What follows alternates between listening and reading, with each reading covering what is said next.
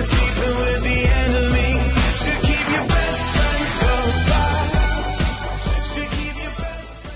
YouTube, today I'm going to be showing you a very quick unboxing of something I got recently, like literally just today. This. iPod Touch 5th generation in white and blue. Right, let's get rid of the old one. Right, I'll show you what's inside it. So you open there's normally a little tab on there, but through excitement I opened it already. Um, you just lift that off. You can take out the iPod itself. Um, at the moment there is a little cover on it, so what you have to do is just flip that back, and then whichever side has the longer one, peel it off from there. And then it should lift off, leaving the iPod. I'm going to leave that in there so I don't scratch it. Right, now, let's get on to what's in here. Okay. Right. You've got here the um, lightning cable, which goes from this digital uh, lightning adapter to normal USB 2.0. Apple haven't released anything about including USB 3, but I should think if they're smart enough, they will do in the future. We also get this unusual thing, which is the uh, wrist strap which hooks onto the back of the iPod. But if you take it off, look at the back, there's this little silver button thing.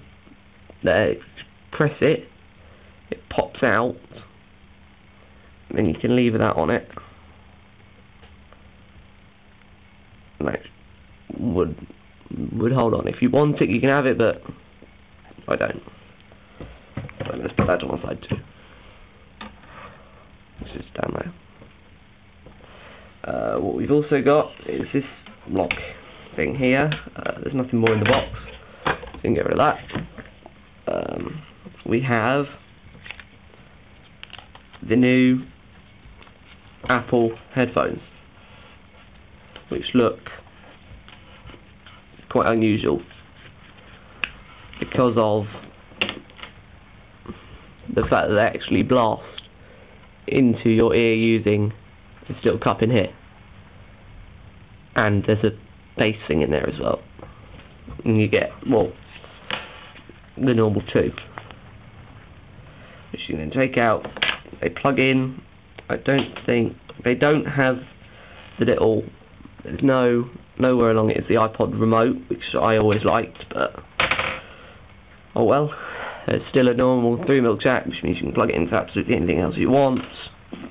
Um, USB cable seems to be quite large because it wraps around about three or four times. Right, now let's get all that stuff out of the way.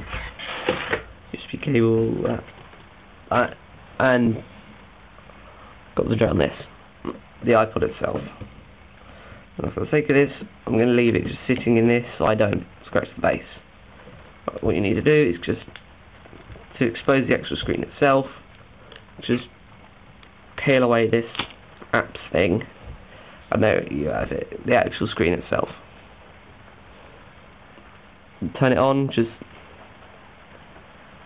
it would appear to already be on, and it's saying, I don't know if you can quite see that on my camera, but it's saying many things in different languages. I don't know what it's saying. Just slide it. Right, and this is the setup. So you select your language. I'm currently talking in English, so let's hit that. Country. Um, don't know if it's England or UK, but it's UK.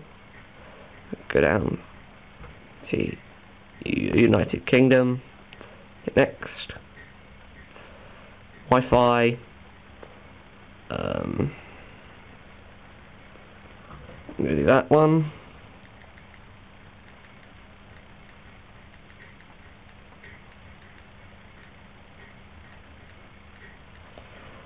Just enter the password, click join.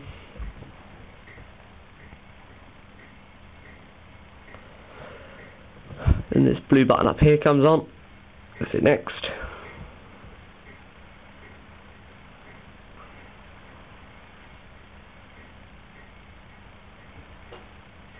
Right, now if this message comes up, it means you have a problem with your router. Now with mine, we're having problems down here, so I have no internet connection. Which means this will be uploaded probably long after I've actually recorded it. So if that happens, um, I'm not 100% sure what you can do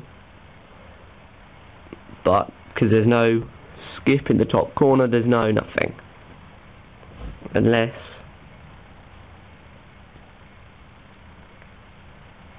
or you've got to start over and back to Wi-Fi.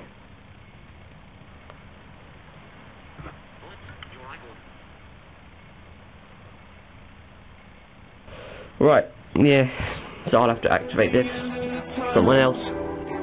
Let's fight at the heart of the struggle. Your smile should have told me your trouble. No more, no more, no more. You owned me when I told you I love you. You buried all my worth with a shovel. Your smile should have told me your trouble.